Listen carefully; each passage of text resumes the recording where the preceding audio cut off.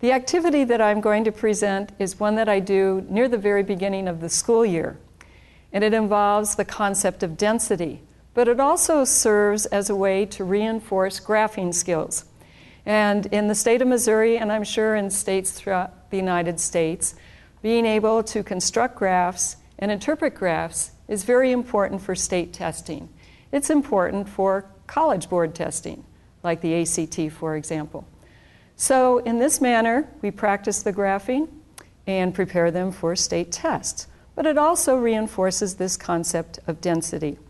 Now, I like to use household products. So, the product that I'm going to use for this experiment is SaltSense. And SaltSense claims that it has 33% less sodium than regular salt. But when we look at the front part of the label with this claim, and then we rotate to look at the ingredients on the label, it is definitely sodium chloride that is in the salt sense.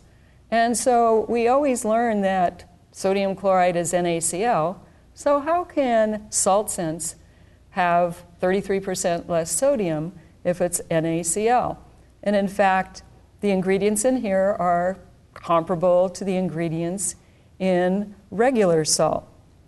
So, here's the charge that my students have to do. They're going to do an experiment where they are going to determine the density of SaltSense and the density of some Morton salt. Now, since SaltSense is iodized, we're using iodized Morton salt.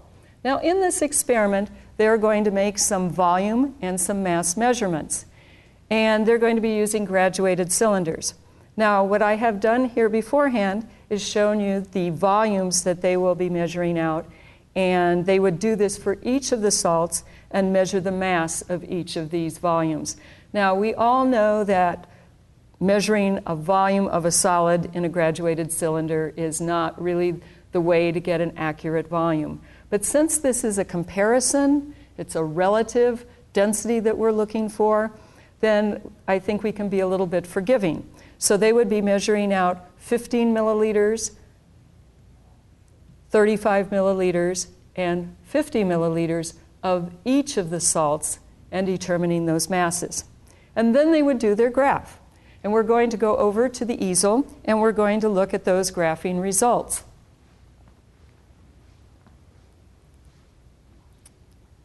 So they would be graphing volume on the x axis and mass on the y axis.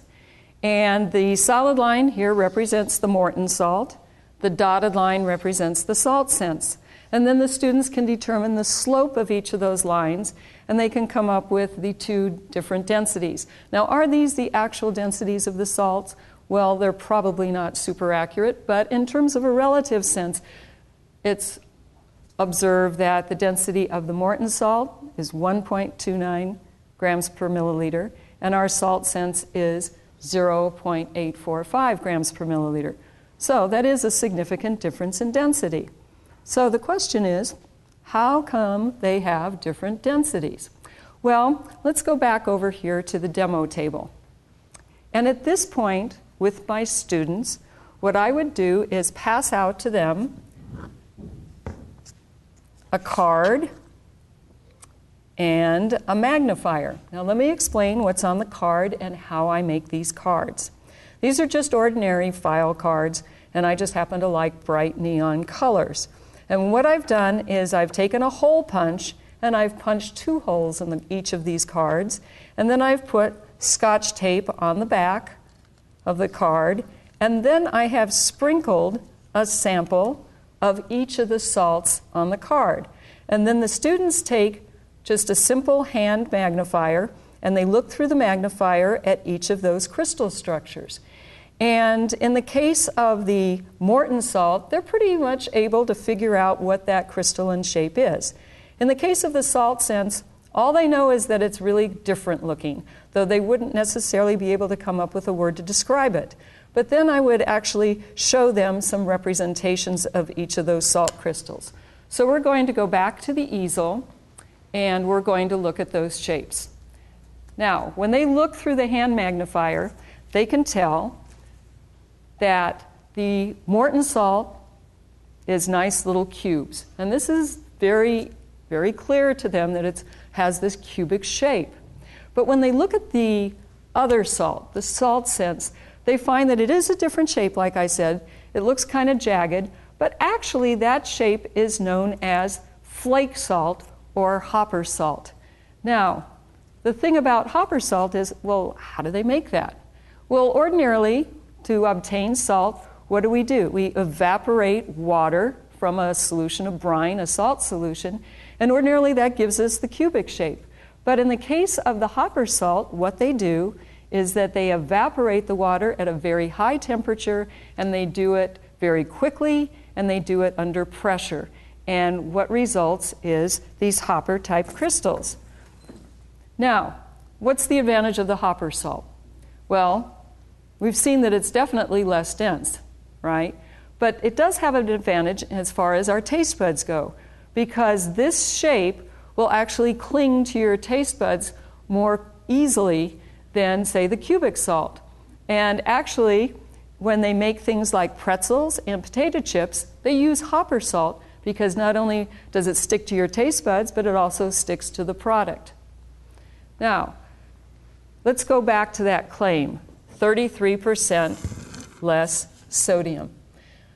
What's happening here is you're having sodium chloride, but because it's less dense, because this hopper salt or flake salt is less dense, what you're getting is in a teaspoonful, you're getting less salt.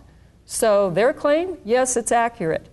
Salt sense does cost a little more, and actually you're getting less salt for this same size container. And we can reinforce that by placing it on a balance opposite our Morton salt. Because when we put them on here, we notice that they are the same volume essentially, but when we put them on here, our Morton salt definitely outweighs our salt sense. So again, you can reinforce that about how much denser the Morton salt is than the salt sense. So this is a really good activity for students to practice graphing, to analyze a consumer product, and to learn a little bit about the salt that is important in their diet.